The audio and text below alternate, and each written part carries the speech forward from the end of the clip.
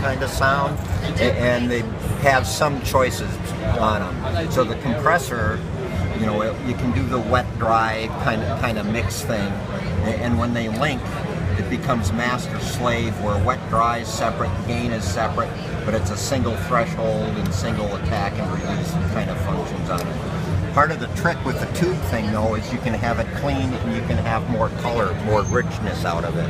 So how, what I did was color switch. So no negative feedback on the tube gives a fatter sound. And with with negative feedback it's a more you know a little cleaner more upfront kind of sound out of it. And, this will sound exactly like an LA2A or a TLA 100 and it's really simple to use.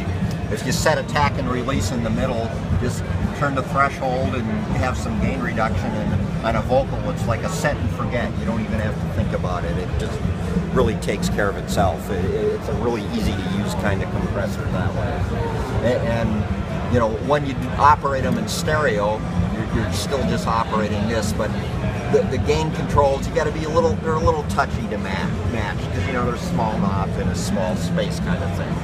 And to go with the compressor. There's a tube preamp that can you can instrument direct input. Uh, there was actually just a review on these two in Mix Magazine, Barry Rudolph did, which is potentially useful information in there.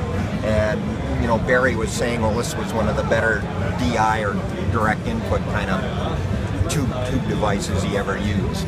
So, so the preamp, it, it's a two-stage thing. There's a pad on the input. The, the overload lights light about 6 dB below clipping. So you can use it as, if it flashes a little bit, okay, we're starting to push the tube a little bit and getting more kind of color out of it. And, and with a little bit of use, it becomes easy to judge your level with it. And, but you can turn the output down and the input up and do overdrive kind of things. So you can use it for, you know, kind of guitar distortions and, and that sort of thing, or you know, drum distortion sort of things. And the, the input over drive light, the gain is changed by the pad switch. The output one, the gain is changed, you know, by the input gain control on it. Mic input or the DI on the front. It's a 24 dB per octave low cut filter. I think it's 90 hertz, you know, to get rid of rumble and that sort of thing.